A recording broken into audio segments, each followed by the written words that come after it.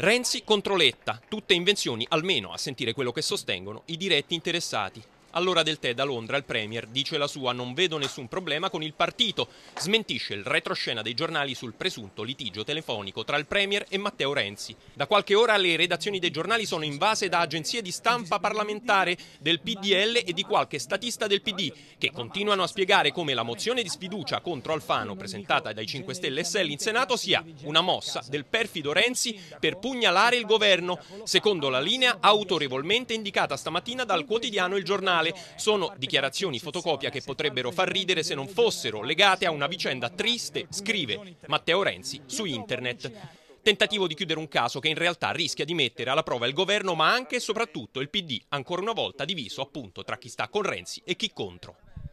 Ma cosa ha fatto questa volta il sindaco di Firenze per rilanciare lo scontro? Ieri ha chiesto a Letta di dire in Parlamento se davvero Alfano lo ha convinto sul caso Shalabayeva. Una pugnalata al cuore del governo, la lettura degli avversari di Renzi interni al PD. Pugnalata rigirata nella ferita dalla nota scritta oggi dai senatori renziani, tutti e 13, a ribadire la richiesta di dimissioni del ministro dell'interno. Il precedente della Idem le rende scontate l'affondo, seguono firme, compresa quella del vice capogruppo democratico a Palazzo Madama, Stefano Lepri. Per i suoi detrattori, insomma, Renzi starebbe usando il caso Shalabayeva nella lunga partita congressuale.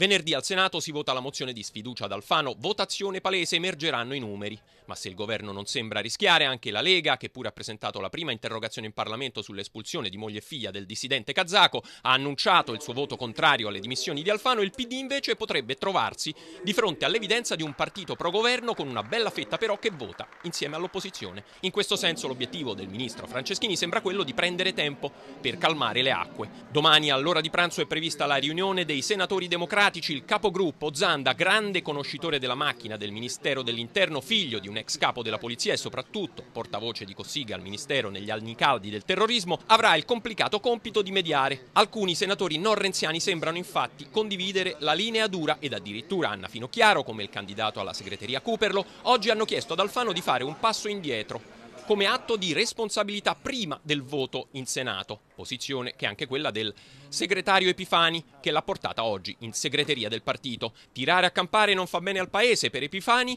che ha messo in campo anche Letta tra i futuri candidati premier del PD, un messaggio al PDL ma anche ai renziani appunto in vista del congresso.